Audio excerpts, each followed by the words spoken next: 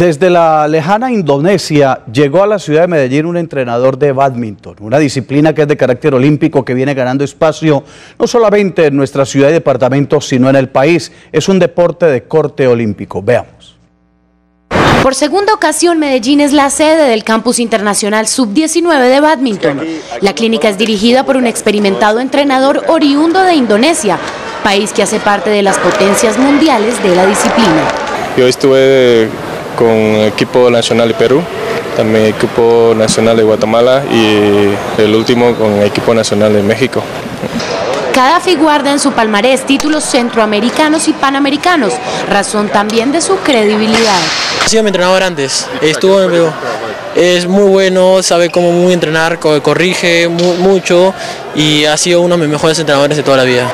Hasta el próximo martes será el campus que no solo intenta mejorar el trabajo técnico y desarrollo de la región, sino que además procura generar lazos de cooperación por medio del deporte.